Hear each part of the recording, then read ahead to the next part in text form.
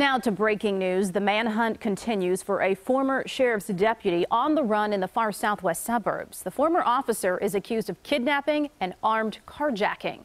CBS 2's Audrina Bigos is live in the Earl Township in LaSalle County with the latest. Audrina.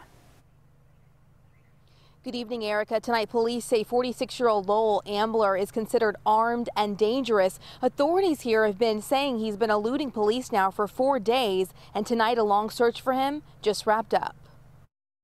A fugitive with active arrest warrants in both LaSalle and Lee counties, but also a former LaSalle County Sheriff deputy with about 15 years with the department, something the sheriff here says could be helping him as he runs from police. He knows the area very well uh, knows a lot better than, uh, than, than, our people do, the people that will be searching.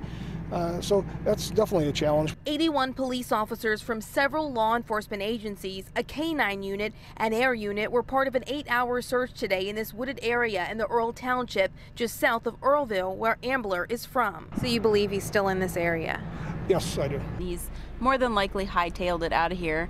Uh, I, I can't imagine that he would stay. That car was stolen from here, a farmhouse on Van Dyke Road in Plainfield, about an hour away. The owner says someone who looked like Ambler flashed his gun and then stole his car.